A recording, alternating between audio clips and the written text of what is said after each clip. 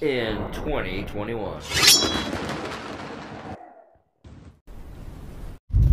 Boop-a-doop-a-doop, driving home. Boop-a-doop-a-doop, I'm home almost. Now, according to what the internet has told me, this should be an exciting come home, not just a normal come home. Oh no, this should be one of those. Oh, there it is. Oh, I see it. Do you see it. Look at that. Look at that. What is that hiding behind the post? A box. Caution. Sharp objects inside. That is a lie. It should only be one sharp object. But, what, what, what, what is it?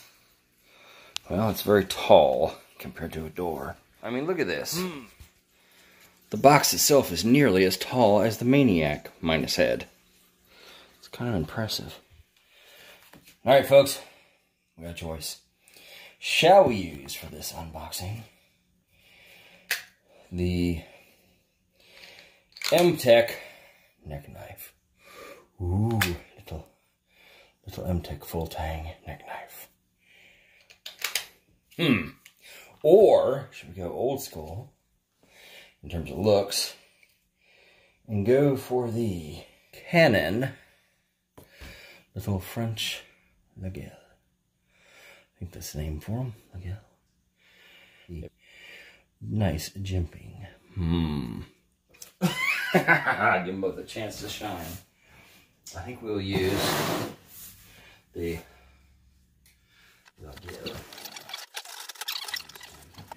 We're going to do this in dramatic fashion. So happy birthday to me, mostly from me. Although a few people contributed, it's mostly from me. That's some massive bubble wraps. Massive sheets of massive wrap. Look at that, square too. One or another, you can't pop just one of them. They're all connected. So, disappointment on the bubble wrap. Maybe I'll make some armor out of it. Would you like to see some armor out of my bubble wrap?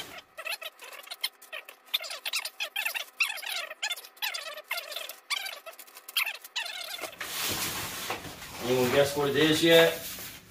Why, yes, it is a windlass product. Congratulations. Now, what is this? If you compare it to my leg, hmm, it's pretty big, isn't it? Look that arm pretty small. I'm not sure. I don't go around people a lot, so I could be uh, could be uninformed about my size. Now, let me get a camera. I don't remember where I left this focusing. So let me get my neck knife, move my bubble armor out the way, get on the floor with my Viking shirt that says, what's my shirt say? Viking World Tour. Some very important dates.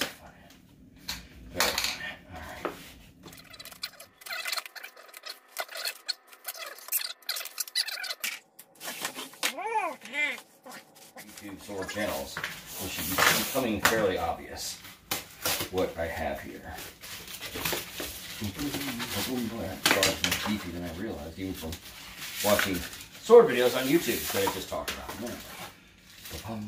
Get it? Oh, yeah, some of you are saying they know what it is.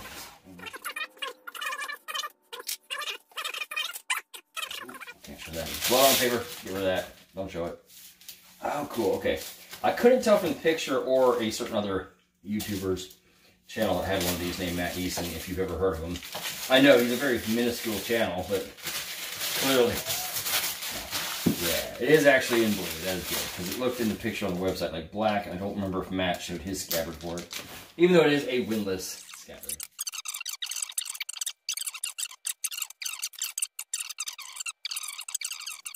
Okay, so if you haven't guessed by now, this is a big sword with a blue handle. Blue is actually my favorite color, and I've never owned a blue-handled sword. I've owned some with ox blood and a few other colors. Boy, that's got a lot of grease on that leather, doesn't it? Oh, that's, that's nice. I like that shape of the handle. I knew it was a, well, what would we call that? It's six sides. So hexagon, hexagonal, flattened hexagonal. But that is, wow, that's better than average leather work on a windlass, I must admit.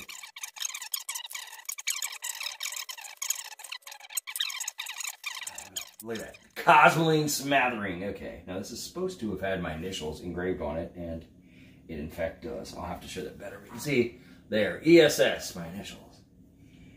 Now, I agree with Matt. This is not as, well, I thought I did a not so great job sharpening. That's like, that level of sharpness is almost the same as one of my sharpening jobs. Yeah, I agree with him. They could, they pretty noticeable second hand. Ooh, yeah, that's that's much worse than my secondary angles. But it's still fairly sharp, and I think I'll apple seed that a bit with a with a whetstone at some point. But I may see it. It may cut all right on its own. But that is the sword. a little heavier than I was expecting in terms of weight, but it really is. Like the balance, I don't know what balance is. Let's check. yeah, right about there.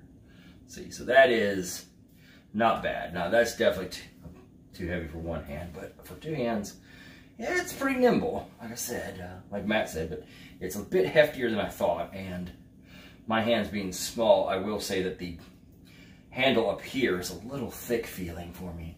But it's also slathered in Cosmoline right now, so I don't know if you can see that sheen on there. You can see maybe where I write my name, you can see, yeah, it's covering grease. So maybe the grease that's making it a little harder to grip than it will. But, uh, yeah, that's about that. Now, this guard is very beefy. Look at that compared to my hand. That is a thick steel bar. I'm not arguing. That's definitely safety. I was just expecting these to be a bit thinner. Wow, that is... Also, those languettes are pretty far from the blade. I expected that to be further. I don't know how this is turning out because my camera's above me, but you can see the gap there. It's, it's the blade is kind of has a slight bit of a ricasso and they the ricasso is kind of sunk into the uh, hilt. I think you probably should able to see that. It's pretty good, but uh, initial inspections are unfavorable. But Windlass has done this to me. I don't know how Windlass does this to me. Almost every Windlass sword I bought from them, apart from the sale, but over the past few years, if you look, the pommel is slightly off center. Not enough to feel it in the hand, but I can see it there. And when I bought my Bosworth longsword, the pommel was also slightly off center like that. And it's not in the direction you put it on a single hand sword. Like if you ever watch Peter Johnsson's videos about how they cantered pommels to accommodate the wrist moving past them on single hand swords. It's actually in the opposite direction. I don't think that's going to affect cutting. It might mess with my edge alignment slightly because it is slightly out of alignment. I don't know, but then again, my backhand it's not my front hand at least. I don't know, but that's interesting know. Overall, that's pretty good. Like I said, it's a bit, bit heavier than I was expecting. Not bad by any means, but more weight than I anticipated by a little. This one, like in the two-hand grip, it definitely, especially if I get this grease off right now, it's very slippy. Feels like I'm gonna drop it when I swing it.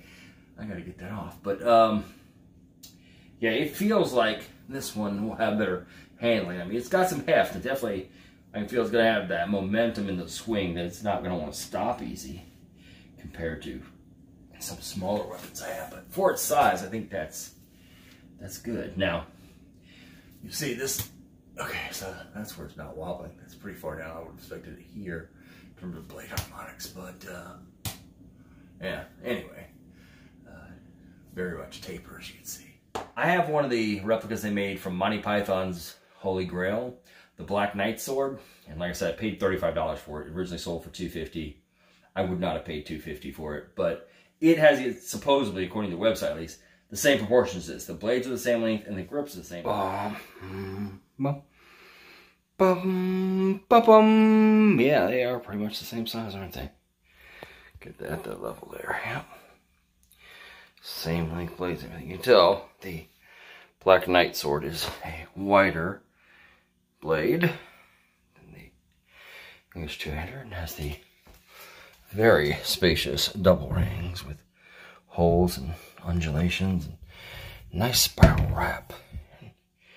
Good stitch work. You can see they actually lacquered this one because it's black on the threads. This interesting pommel. It has a weird eye in the middle for no reason. Looks like a Star Wars. Like IG-88 or something. But this one is a threaded pommel the typical windlass cap, although I think they glued the handle on on that one. Now, weight-wise, hmm, it's very difficult balancing it, doesn't it? So that one the door handle, so it won't slip. Yeah, I feel roughly about the same. So on the website, I couldn't find a weight for this one. I have some old museum records catalogs I can look in, but in terms of measurements, they're the same. Now let me show you a little bit of difference here. Well, as we can see, this one, if I wiggle it back and forth at the handle, we get some undulation, yeah? Wiggle it, well, let's try wiggling in the air here. Wiggle in the air, eh, not so bad, right? Pretty steady. For such a long blade, that is pretty, uh, pretty stiff. I say now, with Monty Python, this is almost humorous. I do the same thing. And, oh, going see how much more that wiggles? Now this is unfortunate though, if I do the same wiggle test here. Oh yeah, look at that. Get a better grip on it here, here, yeah. See how much that thing's fluctuating? Yeah, it is a, and look, even holding up on its own weight, you see it is drooping. You See that it droops down slightly. Yeah, this is from Windlass's what I call noodle phase, when they went from super, from blades that were too thick with no distal taper to blades that were reasonably thin. Look at that. Reasonably thin all the way through. It's no distal taper really, but it's roughly, I'm actually going to say, it feels a slight bit lighter than the English two-handed sword somehow. I don't know how that worked out, but I'm glad I only paid $30 for it. Look at this dancing. That's just me wiggling like this. Like, that is ridiculous. But, it is light enough that yeah, that's one hand because I'm holding my phone in the other hand. I am swinging this sword one-handed. See, the Cosmoline is now gone, and we have a rather mirrory polish. You can kind of see the undulation there, meaning that if we look down the blade, we will see that there are some lines there. Some catch me light. You see some hills and valleys, some rippling. Not perfect, but typical stabby, stabby, stabby. Yeah. Good time. So, if I take this, I can't find a good spot to do this, but you can see I can move this around fairly well single-handed, you know? Like, it's not impossible. I won't want to fight with it, but it certainly is maneuverable enough that I can do that. And the hilt's pretty solid. Pommel's good. I like the double guards. It's got a good feel to it, you know? Like this, yeah. But look at this. Yeah, this is no good.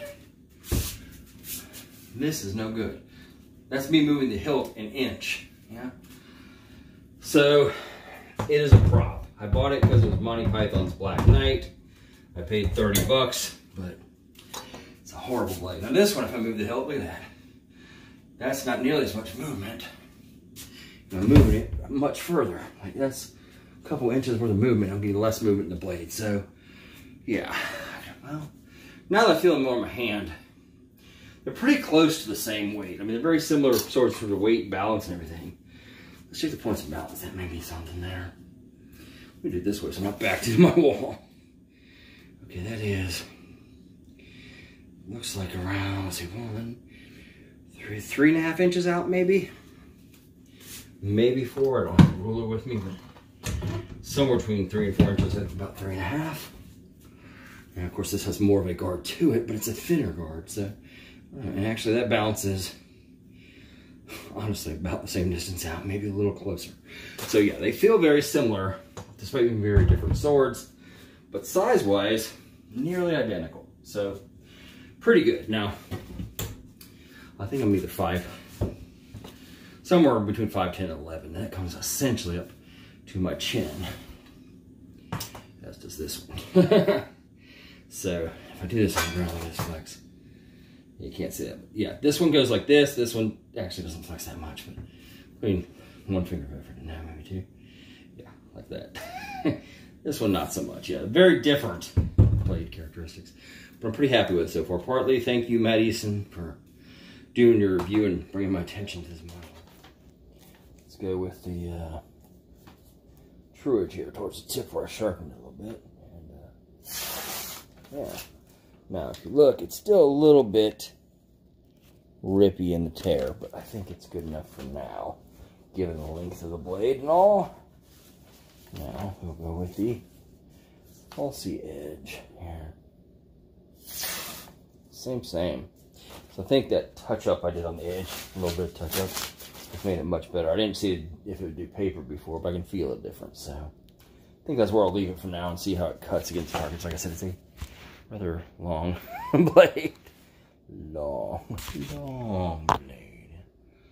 Long, long, long, how long? Not long. Long blade. All right, Hilson. And good night.